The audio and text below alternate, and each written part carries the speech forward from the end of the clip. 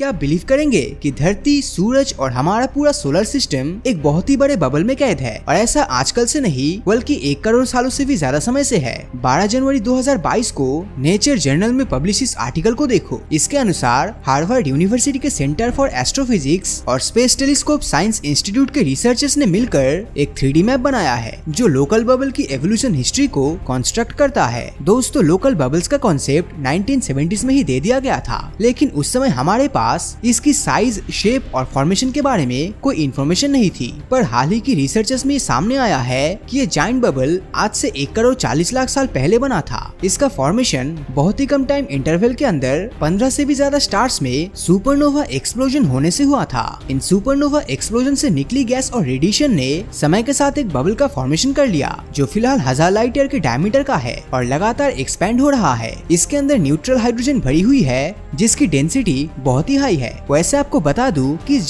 Bubble की discovery एक हादसा था। इसको डिस्कवर करने वाले रिसर्चर्स मिल्की वे के सारे ऑब्जेक्ट का एक थ्री मैप बनाने में लगे हुए थे। जी स्पेस ऑब्जर्वेटरी के डेटा को एनालिस करते समय कैथरीन जूकर और उनकी टीम ने पाया कि पिछले एक करोड़ चालीस लाख सालों में हमारे सूरज के अराउंड कोई भी नए स्टार का फॉर्मेशन नहीं हुआ है। पर धरती के अराउंड कुछ ऐसे एरियाज़ है जहाँ पर नए स्टार्स के फॉर्मेशन के लिए इनफ मटेरियल अवेलेबल है और वहाँ पर न्यू स्टार के फॉर्मेशन के सबूत भी देखने को मिलते हैं। इसी तरह उन्हें जाइंट बबल के बारे में पता चला जिसे हम आज लोकल बबल के नाम से जानते हैं। आपको बता दूँ कि इस बबल के अंदर जो भी ऑब्जेक्ट है, वो या तो बबल की फॉर्मेशन के समय से इसके अंदर है, या फिर बाहर से इसके अंदर गया है। हमारा सूरज भी ओरिजिनली इसके अंदर नहीं हुआ करता था, और आज से करीब 50 लाख साल पहले ही मिल्की वे के सेंट्रल सुपरमेसिव ब्लैक होल को ऑर्बिट करते हुए जाइंट बबल के अंदर एंटर हुआ था। अगर हमारा सूरज हमेशा से इस बबल का पार्ट रहा होता तो शायद आज हम एग्जिस्ट ही नहीं कर रहे होते। अब जैसा कि मैंने आपको अभी बताया था कि ये जाइंट बबल 15 सुपरनोवा एक्सप्लोजन के कारण हुआ था।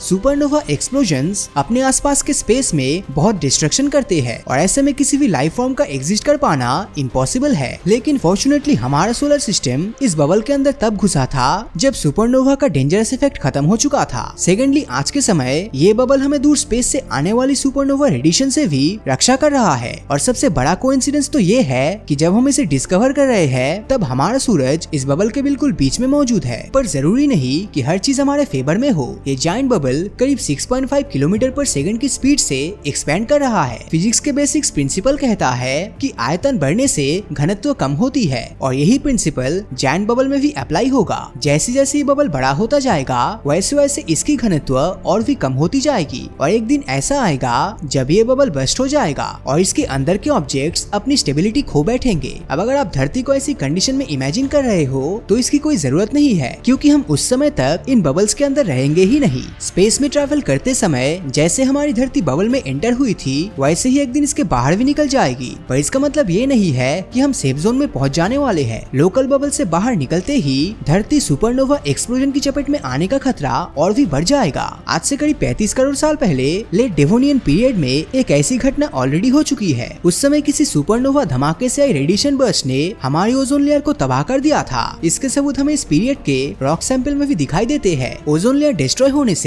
धरती की सरफेस पर अल्ट्रावायोलेट रेस आने लगेगी। ये तो आप बचपन से ही जानते हो। पर इसके कारण धरती के एटमोस्फेयर में एंटर होने वाली कॉस्मिक रेस भी बढ़ने लगेगी, जिनके कारण धरती पर बिजली गिरने की घटनाएँ भी काफ़ी बढ़ जाएगी। हमारे जंगल में लगने वाली आग का मेन रीजन भी बिजली का गिरना ही होता है। मतलब जंगलों के फायर केसेस काफ़ी तेज़ी से बढ़ जाएँगे और धरती पर लाइफ बहुत ही डिफ़िकल्ट हो जाएगा। बट ये तो करोड़ों साल बाद होगा राइट इसके लिए हम क्यों टेंशन ले? दोस्तों, आपको बता दूँ कि हमारे लोकल बबल के अंदर भी कुछ ऐसे एरियाज़ एग्जिस्ट करते हैं, जहाँ आने वाले भविष्य में सुपरनोवा धमाका हो सकता है। और ये एक्सप्लोजन कब और कैसे होगा, इसका अंदाज़ा पहले से ही नहीं लगाया जा सकता। हम इंसान लंबे समय से ऐसे बबल्स के कॉन्सेप्ट को एज्यूम कर रहे थे, और अब हमें उसके मौजूदगी के बारे में पता चला है। पर अभी इस फ़ील्ड में हमारी रिसर्च बहुत ही लिमिटेड है। हमें तो ये भी नहीं पता कि धरती पर लाइफ की तरह क्या ये बबल्स भी पूरे यूनिवर्स में यूनिक है, या फिर इस यूनिवर्स में ऐसी इनफाइनाइट बबल्स एग्जिस्ट करता है। हो सकता है कि यूनिवर्स में ऐसे बबल्स बहुत ही कॉमन हो, और हमारा सूरज एक बबल से निकलते ही दूसरे बबल में एंटर हो जाए। पर फ़िलहाल तक हमारे पास इसका कोई प्रूफ नहीं है। इस पूरे एनालिसिस को सुनने के बाद आपके दिमाग में कई सारे सवाल घूम सकते हैं, जैसे कि इन बबल्स का फॉर्मेशन आखिर कैसे हुआ होगा? जब सूरज इस बबल में एंटर हुआ था, तब धरती की कंडीशन कैसे चेंज हुई होगी? और हमारा सूरज कब इस बबल से बाहर आने वाला है? सवाल कई सारे है, पर इसका जवाब भविष्य में छिपा है। आखिर कैसे सुपरनोवा एक्सप्लोजन यानी कि स्टार्स की मौत के इवेंट से ऐसे बबल का जन्म होता है, जो नए स्टार्स का फॉर्मेशन करते हैं। ये सोच अपने आप में ही काफ़ी फैसिनेटिंग है। एंड आई एम श्योर आप भी इनके बारे में और जानना चाहते होंगे। आई होप कि आने वाले सालों में हम लोकल बबल्स की स्टडी करके